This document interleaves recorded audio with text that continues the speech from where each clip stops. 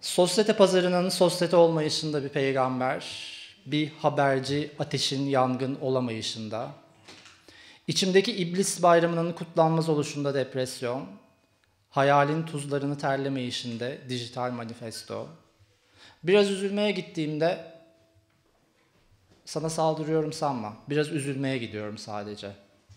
Görünmek istiyorum kalbinde, algoritmalarda. Bana isimlerle gelmeni ve başını bırakmanı istiyorum ayaklarımın ucuna. Kemiksiz geçiş yaptığın daire, ayaklarını soktuğun antik suyun akışı bahane. Bana ne bütün oluşundan, bedenini olumlayışından, sanat çevrenden, bu çektiğin vitrayların altından müdahale etmediğin müzaffer edası veya yaşamın püf noktalarına dair ifaden. Bana hep müsaade, bana eleştiri dergilerinin temizliğinden, müzikten yapılma ilişkilerde yatan pozdan, yobaz oluşundan bir müdahale bu harpten. Aklın kalbi seni paylaşımcılığa iter. Köprülerden geçer ve birilerinin yanına gider. Müzelerde beklemen gerekirdi. Öylece durmak isterdim. Birilerinin yanını terk etmek için hastaneden geçer.